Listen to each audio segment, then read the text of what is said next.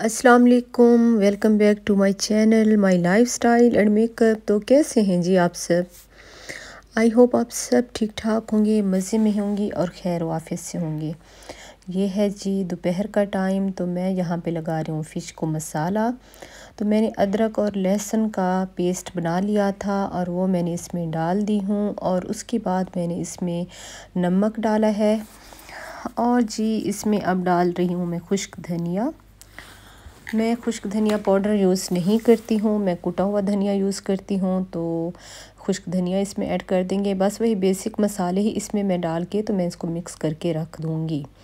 जब मैं फ़िश को मसाला लगा रही थी तो फिर मेरा पार्लर पे काम आ गया था।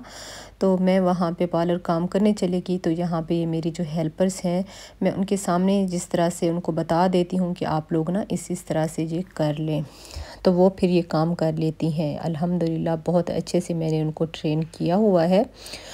और ये मसाले, बेसिक मसाले ही डाल रही हैं। कुटी हुई मिर्चें, पिसी हुई मिर्चें, अदरक, लहसुन का पेस्ट और नमक और गरम मसाला और जी हल्दी पाउडर। तो यहाँ पे ये सारे बेसिक मसाले डाल के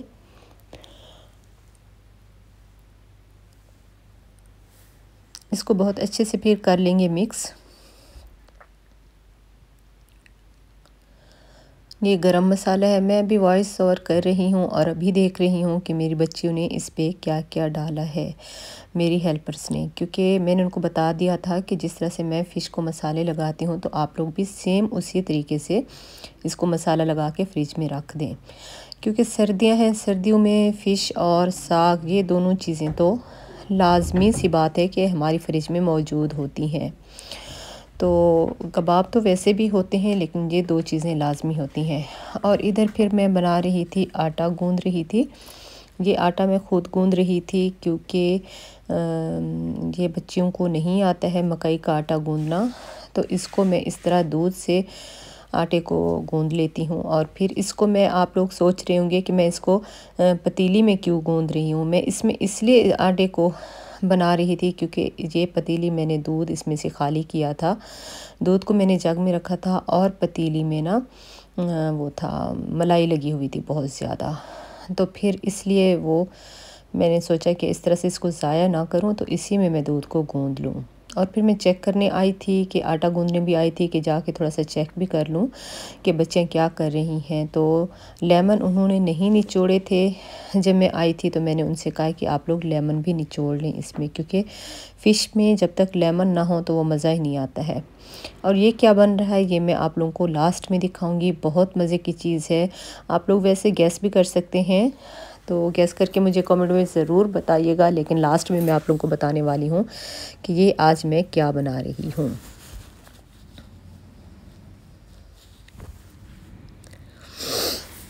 और ये मैं आटा गूंद के रख दूँगी कुछ देर के लिए इसको। ये है घी। घी तो बन गया था, लेकिन लास्ट में वो भी मैं आप लोगों को दिखाऊँगी कि मैं वो क्या बना रही थी। ये देसी घी है, मैंने बनाया है मलाई का। तो जो मलाई जमा हुई पड़ी थी, वो घी मैंने बना दिया है।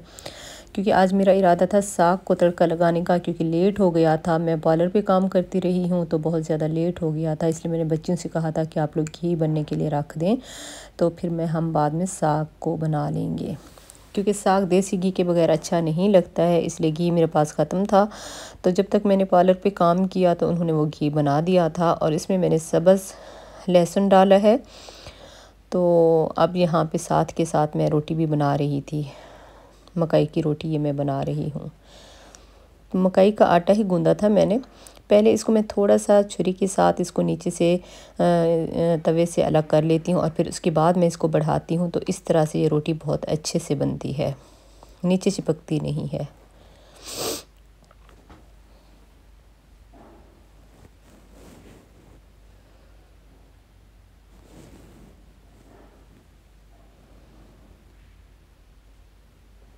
मेरा तो जी, यही सिंपल सा तरीका है, इस तरह से दोनों हाथों को पानी लगा के हल्का सा तो मैं रोटी को बढ़ा लेती हूँ तवे पे। और यहाँ पे ये लहसुन तकरीबन भुन चुका था और इसके बाद मैंने इसमें धनिया भी ऐड कर दिया था। मैं धनिया साग में हमेशा इसी टाइम पे ऐड करती हूँ तो बहुत अच्छा टेस्ट आता है। ये साग वैसे जहाँ से आया था, मुझे किसी ने भेजा था तो तड़का उन्होंने लगा के ही भेजा था।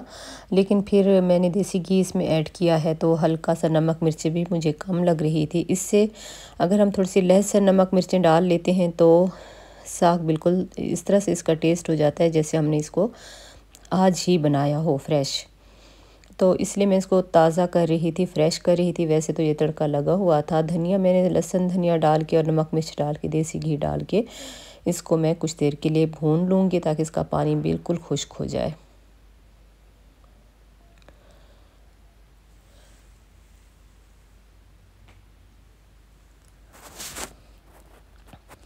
और घी भी बन के तैयार हो चुका था। इसको भी साथ के साथ मैं छान रही थी।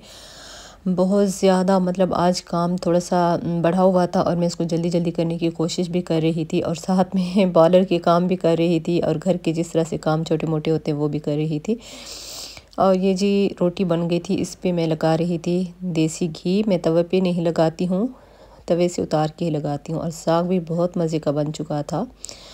तो इसके ऊपर भी मैं थोड़ा सा फिर देसी घी डालूँगी ताकि इसका टेस्ट बहुत अच्छा आए। पूरा फुल एक देसी तरीके से हम इसकी मकई की रोटी और साग को इंजॉय करें। और जी, जो मैं आप लोगों से बता रही थी कि मैं एंड में बताऊँगी कि मैं क्या बना रही हूँ, जो हमने घी बनाया था, वो घी बनाया था मलाई का। तो मलाई लास्ट में इस तरह से हो जाती है तो आप उसमें अगर थोड़ी सी शक्कर या गुड़ डाल के और सबस इलायची डाल के इसको हल्का सा भून लें तो यकीन माने ये इतना अच्छा हलवा बनता है ना, बहुत मज़े का। लेकिन इसमें इलायची डालना मत भूलिएगा आप लोग। तो फिर बहुत अच्छा इसका टेस्ट बनता है। तो मैं हमेशा ऐसा ही करती हूँ।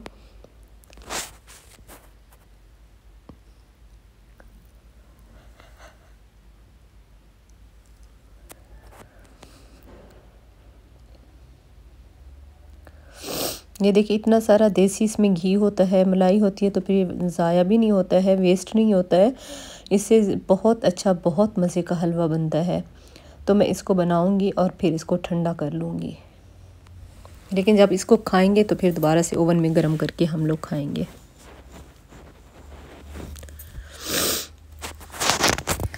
अच्छा जी, आज जो मुझे जल्दी पड़ी हुई थी, मैंने जाना था शादी में। मेरी कज़न की बेटी की शादी थी तो घर से थोड़ा सा दूर भी थी।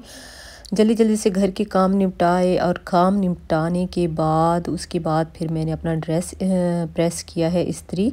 ये आगा नूर की शर्ट सी मेरी बहुत प्यारी शर्ट है, इसके बाजू बहुत खूबसूरत हैं। तो आज मैं ये पहन के जा रही थी। और जो उसके साथ मैं ज्वेलरी पहन रही थी वो ये थी। तो ज्वेलरी सारी मैं आर्टिफिशियली पहन लूँगी क्योंकि आजकल गोल्ड का तो इतना फ़ैशन ही नहीं है, हर कोई मैचिंग ही पहनता है। तो आर्टिफिशियल ज्वेलरी को मैं पहन रही थी। यहाँ पे।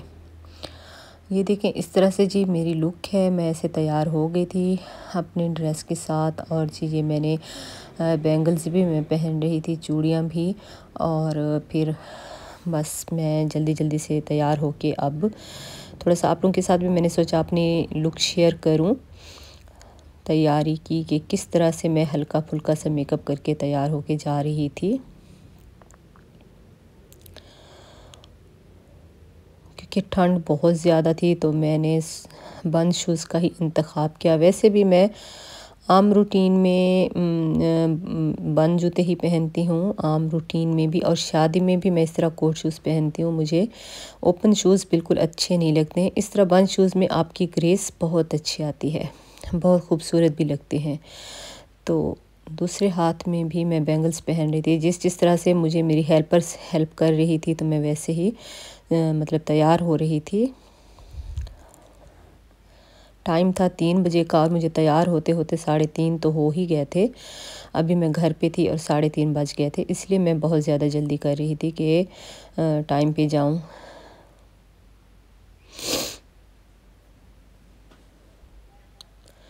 रिंग्स भी मैंने अपने ड्रेस के साथ मैचिंग पहनी है।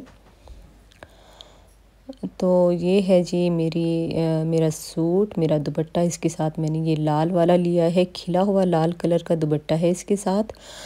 और गोल्ड डल गोल्ड मतलब लाइट गोल्ड कलर का सूट था मेरा। और इसके बस मैं अभी लास्ट में ख़ुद को देख रही थी कि बस ठीक है सब कुछ। तो मुझे सब कुछ ही ठीक लगा। और बच्चों के भी फ़ोन आते रहते हैं कि मम्मा हमें पिक्चर भेजें कि आप किस तरह से तैयार हुए हो तो फिर उनके लिए भी मैं थोड़ा सा ऐसे बना रही थी तो फिर उनको भी ऐसे भेज दूँगी। अभी बस मैं जा रही हूँ जी। बिल्कुल डन हो गया सब, अब मैं जा रही हूँ। अब जाते हैं तो क्योंकि काफ़ी टाइम हो गया था। फिर रास्ते से बहन को भी उठाना था, उनको भी साथ लेके जाएँगे सिस्टर मेरी को। और मेरा भतीजा भी था तो साथ में एक तो मतलब हमारे रास्ते में स्टे होने वाले थे, फिर थोड़ा टाइम वहाँ पे भी लगना था तो बस अब हम शादी वाले घर पे चले जाएँगे। थोड़ा सा मैं आपको वो भी दिखाऊँगी, बहुत सिंपल सादा तरीके से, घर पे ही वो शादी कर रहे थे, और मेरा भी यही ख्याल होता है कि घर पे अच्छा होता है। और ये है जी खाना खाना उन्होंने बनाया हुआ था, बीफ था बीफ कुरमा था और साथ में नान थे और साथ में ज़रदा था। ज़रदा मेरा मोस्ट फेवरेट है और शादी का खाना वैसे भी हर किसी को अच्छा लगता है, ताज़ा, फ्रेश वाला। एक दिन अगर रखा जाए तो वो अच्छा ज़्यादा नहीं लगता है। ये जी, इस तरह से उन्होंने थोड़ी बहुत हल्की फुल्की सी डेकोरेशन की हुई थी, लेकिन सब बहुत अच्छा लग रहा था। यहाँ पे। और अगर जी, आप लोगों को मेरे ये वीडियो अच्छी लगी हो तो मेरे चैनल को कीजिएगा सब्सक्राइब, लाइक और शेयर भी कर दीजिएगा और अपनी फैमिली और फ्रेंड्स के साथ भी इसको ज़रूर शेयर कीजिएगा। अब मैं जा रही थी वापस। मिलते हैं जी आप लोगों से नेक्स्ट वीडियो में। तो तब तक के लिए अल्लाह हाफिज़। Bye bye.